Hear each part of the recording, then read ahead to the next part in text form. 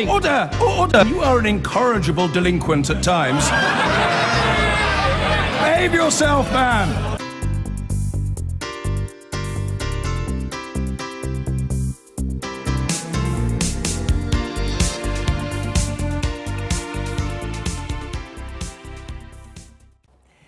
Well, the Parliamentary Labour Party has, as expected, voted to request the NEC bring forward a rule change at conference to reinstate elections to the shadow cabinet. A move interpreted by Jeremy Corbyn's supporters as designed to rein him in should he win the leadership election. He's countered by suggesting that party members or party conference should elect some members of the shadow cabinet team. Well, in a moment, I'll be speaking to the man who was at the centre of the battle for the survival of the Labour Party in the 80s and has the scars to prove it. But first, our political editor Nick Watt observed a musical day for the two Labour tribes.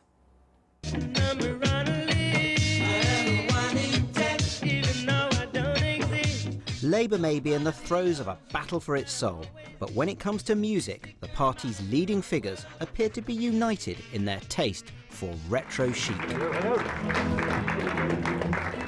Today, Jeremy Corbyn was endorsed by an iconic band which was the scourge of Thatcherites. Your band, formed in the late 1970s during a time of increasing youth unemployment, then went on to become this iconic name, UB40. But critics couldn't resist saying that winning the endorsement of a bunch of ageing rockers may show how Jeremy Corbyn's worldview hasn't changed in three decades, a view vehemently rejected by UB40.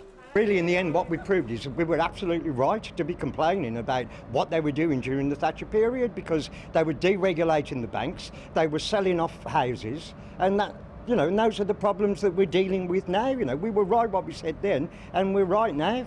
You know, it's obvious and the band members are unamused by any suggestion that a split among the original members of UB40 could provide something of an awkward metaphor for the future of Labour under a renewed Corbyn leadership. oh, what a great question! oh, nice one. I don't think I don't think one has anything to do with the other, do you? You know, uh, it wasn't really a split so much as our lead singer left eight years ago we're still UB40. The, the, party could live on with different people yeah, at, the, exactly, at, the, yes. at the front. There's what a novel thought. idea. What a thought. There's a novel idea. Yes. At the event, we had a rare sighting a politician with a genuine interest in the arts who loves music when it has a political theme and when it moves him. We associate music with times in your life. I got to love um, Caribbean music in the 1960s when I lived in, and worked in Jamaica for two years. And that taught me a whole thing then about original reggae bands. And so, yes, one is attracted to the music of um, some people who've done sort of great political things, like Joan Baez and the, the singing she's done, and that incredible voice she's got. To ask you is, but Corbyn's interest in music does have its limits. Are you secretly jealous of Ed Balls and would you really like to be in that bow tie on Strictly Come Dancing?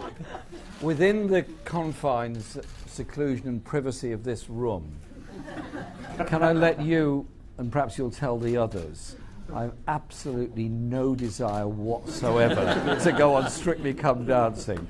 I wish Ed Balls well. Our Strictly star is out in London tonight celebrating the publication of his memoirs in the presence of his new dance partner and some once mighty figures in the Labour Party. They may cut a smaller figure these days, but one of their number, who's a retired musician to boot, couldn't help embarking on something of a battle of the bands. I don't think there's a particular advantage in linking yourself to a particular musical form let alone one that is about from 30 or 40 years ago. I mean, I think Jeremy is dating himself a bit if he's looking for UB40. I mean, UB40, uh, red, red wine is all I remember, and red, red wine with perhaps W-H-I-N-E is what many of his critics would say they're hearing from Jeremy.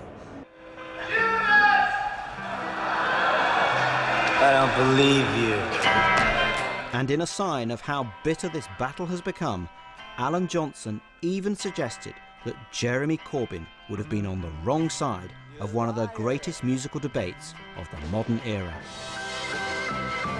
Jeremy and I think lots of his supporters were the people who wanted Bob Dylan to stay with Blowing in the Wind and his harmonica that he had around his neck. That was, and you know, they booed and jeered him when he brought out the electric guitar. Uh, I was a Dylan post-electric rather than pre-electric. Actually, our aged politicians know that life has moved on since the 1980s. Rudimental and Rizzle Kicks have endorsed Jeremy Corbyn, perhaps giving him the edge as Labour's tribes court a new generation.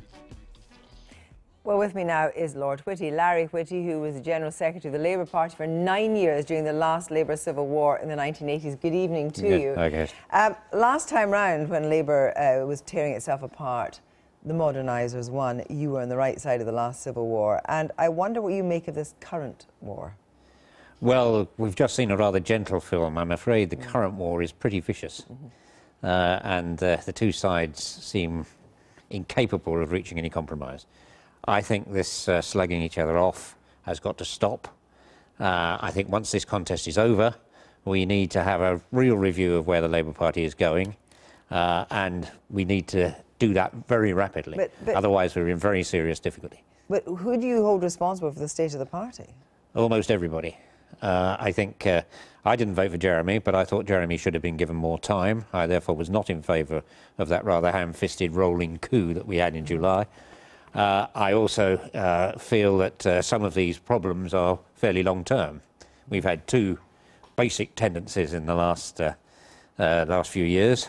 Um, the leader's office uh, has gained, the leader and the leader's office have gained an accretion of power that Yeah. started really and- under Tony Blair, Yes, and it's you- continued with Ed Miliband. Yes, and that would let, just sto- stopping at a point of talking about Ed Miliband. When Ed Miliband got rid of uh, the uh, elections to the shadow cabinet, you were dead against that and refused to take part. Is that correct? Um, that wasn't the point on which I refused to take part, but I refused to take part with his approach to affiliation Why and did you refuse membership. to take part in? I'm interested.